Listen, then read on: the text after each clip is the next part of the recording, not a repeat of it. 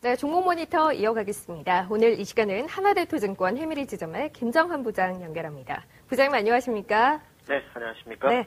자, 일단 오늘 이제 급등하고 있는 종목군부터 확인을 먼저 해볼게요.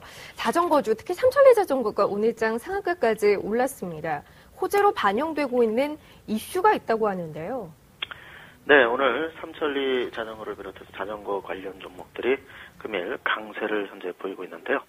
그 LS 네트워크스, LS 그룹에서의 그 자전거 소매업 어, 진출 건이 에, 결국에 에, 진출하지 않는 걸로 LS 그룹이 에, 그 철수 의사를 밝히면서 어, 그동안 어, 이에 따른 어떤 부정적인 어, 투자 심리로 인해서 좀 조정을 소강 상태를 보였던 삼천리 자전거의 주가의 흐름이 예, 오늘부로 해서 직전 고점 어, 2월 3일 2월 2일경 9,550원 그리고 또한 그 직전에 또한 11월 7일 기록했던 9,930원의 장중 고점 때까지 모두 다 돌파하면서 현재 1,400원의 가격으로 상한가 시연을 해놓은 상태인데요.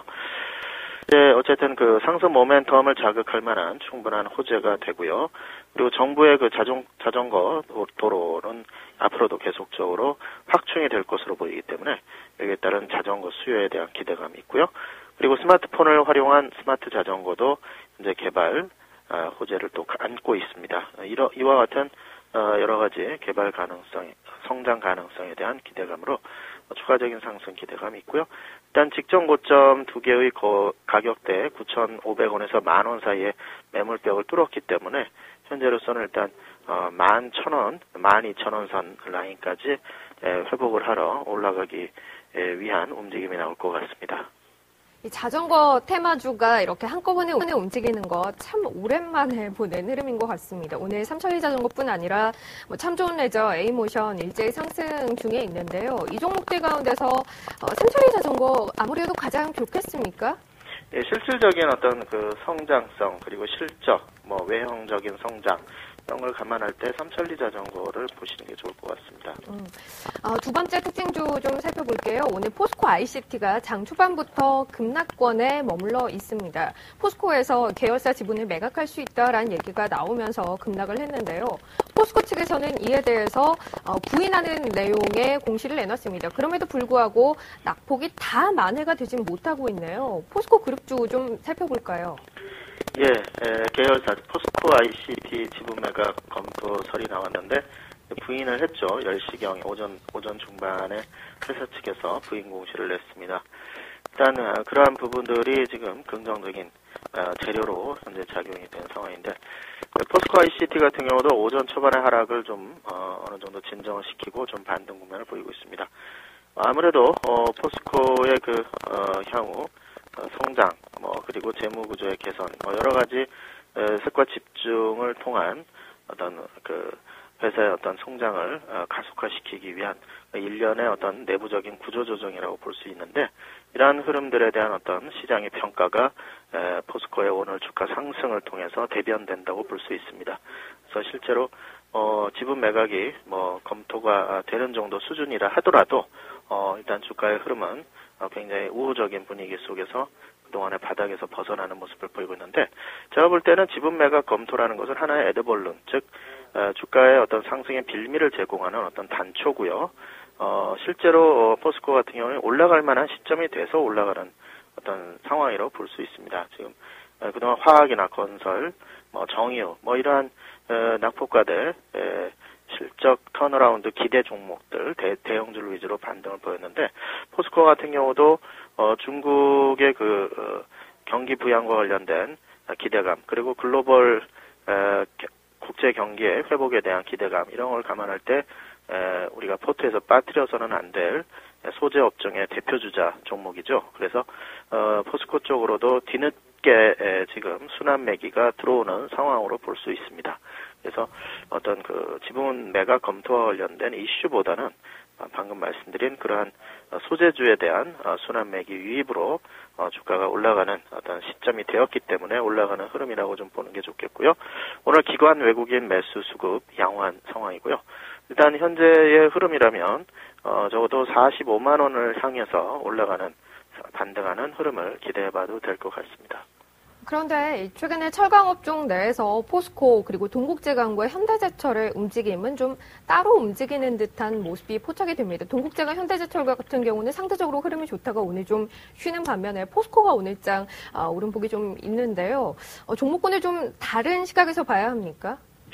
근데 포스코가 훨씬 더 상승에 예, 그 탄력적인 면에서 어, 좀 강했던 면이 있고요. 그 현대제철 같은 경우도 뭐 꾸준한 반등의 흐름을 보이긴 했는데 에, 저점 대비 비, 비 교해서 봤었을 때는 비슷한 궤적을 그렸다고 볼 수 있습니다. 뭐 동행한 움직임을 보이진 않았지만 일단 비슷한 맥락으로 볼 수가 있겠고 오늘도 어 사실 시장 분위기 전반적으로 감안할 때 현대제철도 그렇고요. 어, 동국제강은 어제 좀 많이 올라서 뭐 1% 정도 빠지긴 하는데 에, 업종별로 봤을 때 철강 소재 관련주들이 비교적 좀 어, 덜 빠지는 면모를 보이고 있고요. 포스코 같은 경우 요 최근에 조정을 좀 보였기 때문에 에, 그러한 밀린 숙제를 하듯 어, 다른 종목들 조정받을 때 오히려 지분 매각 검토라는 어, 이러한 어떤 설로 어, 주가가 올라간 거라고 볼 수 있기 때문에 어떻게 보면 철강 업종끼리 키 맞추기를 하는 어, 정상적인 과정으로 볼 수가 있습니다. 그래서 포스코도 그렇고 현대제철도 그렇고 동국제강도 그렇고 지금부터가 이제 중요하다. 오늘까지 이제 포스코까지 에, 마무리 키 맞추기를 위한 반등을 했기 때문에 자, 오늘부터 어, 철강주의 움직임에 대해서 어, 업종에 대한 관심을 한번 가져볼 만하다. 그렇게 말씀드릴 수 있습니다. 마지막으로 해운주 한진해운 좀 보죠. 최근 사실 시장에서 뭐 주도주, 주도 업종이라는 것을 찾기 힘듭니다만 분위기는 한진해운으로 인해서 많이 좋았다. 해운주 쪽, 쪽에 대한 시각은 뭐 이렇게 얘기를 할 수 있을 텐데 오늘도 오르고 있어요. 현재 시점에서 추가 상승 가능, 가능성이 얼마나 있다고 보십니까? 예, 에, 한진해운 어, 그동안 알게 모르게 참 많이 올라왔습니다. 만 원 이하에서부터 어, 주가가 꾸준히 올라가는 흐름을 보였습니다. 일전에도 한번 소개를 해드린 바가 있었는데요. 지금 뭐 한진해운의 경우 어, 그 해운업사 간의 그 합종 연행을 통해서 수익성을 개선시키기 위한 에, 그런 움직임을 현재 보이고 있고요. 그리고 또 어, 유럽과 미주 노선의 그 운임이 한 50% 가까이 상승하는 어, 현재 상황입니다. 그래서 이에 대한 어, 수익성 개선은 뭐 확실하고 전년에 비해서 어, 그 turnaround 확실한 turnaround를 기대해 볼 만한 분위기는 무르익고 있고요.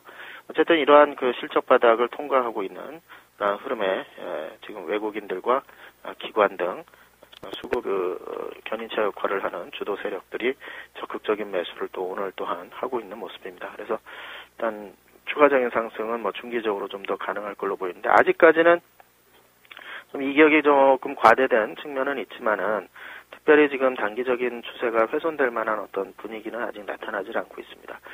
하지만 일단 19,000원 선부터는 어, 매물이 좀 어, 상당한 아, 규모로 작용할 가능성이 있을 것 같아요. 그래서 어, 한 19,000원 정도, 그 정도 수준 내외에서의 움직임을 좀 보시는 게 좋을 것 같고, 어, 조금 더 올라갈 여지가 있는 걸로 좀 보고 싶네요.